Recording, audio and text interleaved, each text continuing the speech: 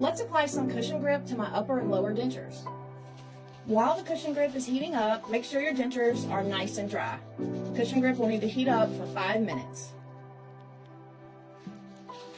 Make sure they are really, really dry. That's very important. And your hands. You'll want to keep a towel handy. I'm going to take the cushion grip out of the hot water and wipe it off on this towel I have sitting over here.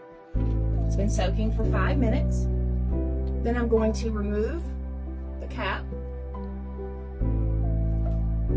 And I'm going to start with like a dime nickel size amount, about like that.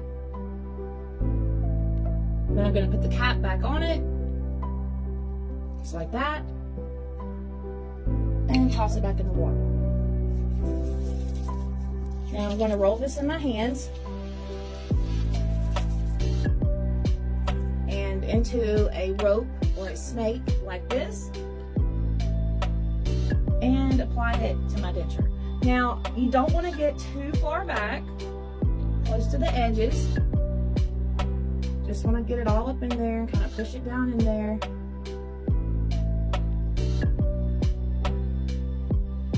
And then get a little ball for the other side.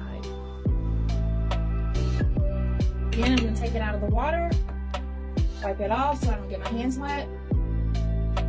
The lid off. And this time I only need a little small ball to finish that lower. So maybe about like that. Okay, cap back on. And back in the water. Take this and roll it up.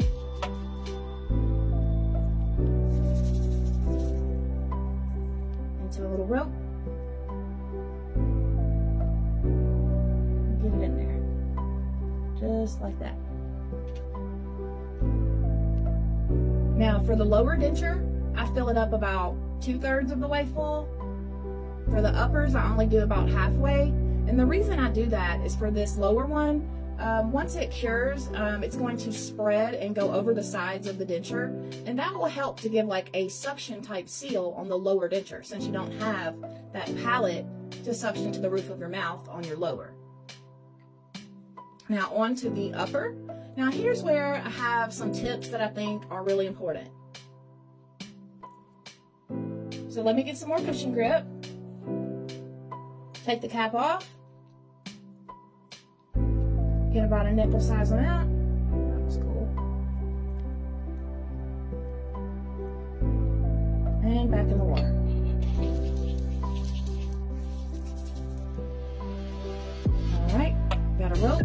Now on the upper, I do not cover the middle, the palate area. I only put it in the trough. And the reason being is because you don't really need it there because your gums don't shrink there. And what I'm trying to do is fill in that space. So this will keep it from sitting too bulky in your mouth and sitting lower in your mouth you have that extra layer. All right, let me get some more. Wipe it off.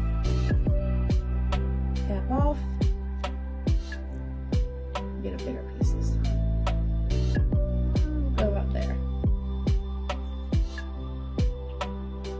And you'll learn what amount is right for you and like how much you need for whatever part of your denture you have left to cover.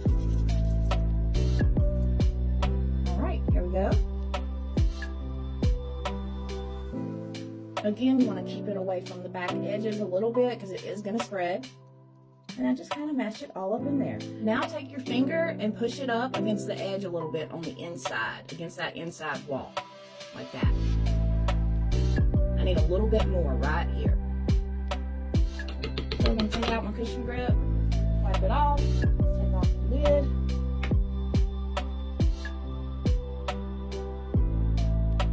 Get a little ball. I don't need much at all.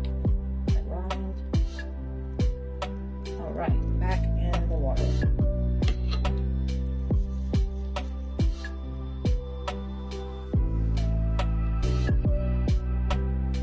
This one I know right where it's going, so just kind of push it in there. Away from the back edge a little bit. And there you go. Now let them sit on the counter for five to 10 minutes to help reduce the tingling sensation when you first put them in. Then after they sit for a few minutes, you just put them in and bite down And I usually apply mine at night so that it can cure while I sleep.